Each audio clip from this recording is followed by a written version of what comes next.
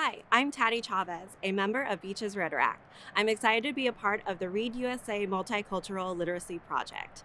This video is made in collaboration with the Cummer Museum of Art and Gardens. I'm here in the beautiful green Italian garden at the Cummer. In the 1930s, Nina Cummer and Ellen Biddle Shipman designed this garden and brought it to life.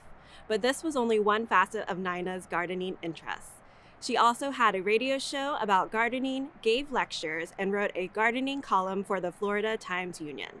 To learn more about Nina Cummer and the Italian garden, visit the Cummer Museum of Art and Gardens. Through her love of nature and gardens, Nina Cummer played a key role in protecting and cultivating Jacksonville's green spaces. Nina reminds me of a more recent gardener who worked to cultivate green spaces in Harlem. The story is called Harlem Grown How One Big Idea Transformed a Neighborhood by Tony Hillery with illustrations by Jessie Hartland. Once in a big city called New York, in a bustling neighborhood called Harlem. Nevaeh called it the Haunted Garden. It was cluttered with wrecked couches, old TVs, broken bottles, and empty cans.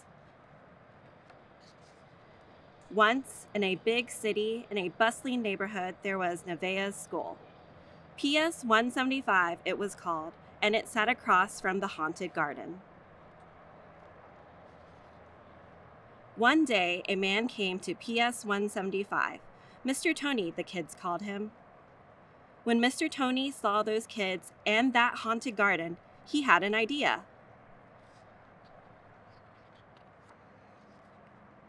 He began to clear the haunted garden, one piece of trash at a time.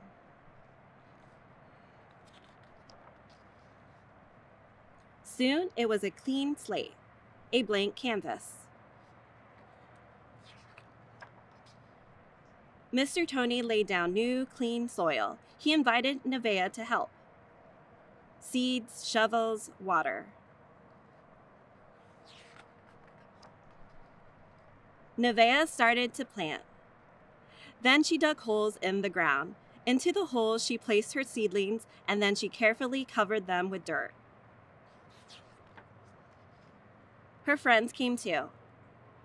400 seedlings went into the ground, one for each kid basil, mint, cilantro, rosemary. Then the kids watered and weeded, and their plants began to grow. Once when Nevaeh came to the lot after school, her plant was wilted and sad. We'll try again, said Mr. Tony. We'll plant something different. Wood, hammer, nails. Mr. Tony built raised beds for the plants. The kids tried again. Peas and broccoli, mint and eggplants. They watered and weeded. And at last, tomatoes, cucumbers, peppers, blueberries, strawberries, collard greens, kale, basil, arugula.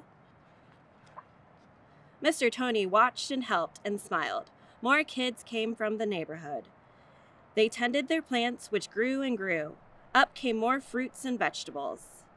The kids took their green beans and carrots and cucumbers home to their families for dinner. Once in a big city called New York, in a bustling neighborhood called Harlem, there was a man with an idea. There were kids who wanted to help, and they made a farm. I hope you enjoyed this video exploring art and literacy here at the Cummer Museum of Art and Gardens.